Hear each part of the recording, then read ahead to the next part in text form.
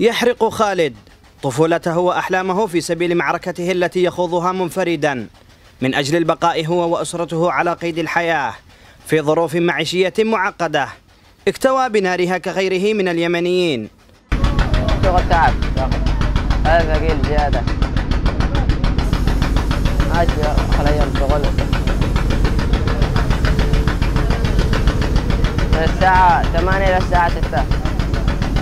مساء. يوم ما تنتهي الحرب ما بتروح أصلا شغل لا. ماشي لا تخرج محل بعيد ولا. معك من السوق للبيت من السوق للبيت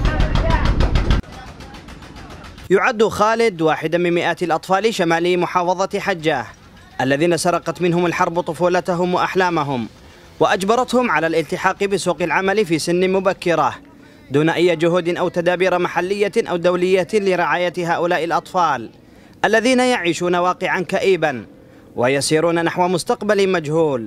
بالنسبة ل يعني عمولة الأطفال في المناطق المحررة شمال حجة يتراوح ما بين ال 30% إلى 40% والأسباب أوله الحصار. ثانيا آه، تجد لعل هؤلاء الأطفال الذين يعملون ويبحثون عن لقمة العيش هم أيتام آه، وأن يعني تكون الأسرة آه، أسرة تتكون من من أعداد فلا يستطيع الأب أن يصرف على هذه الأسرة فيضطروا الأبناء الصغار أن يسهموا ويعملوا.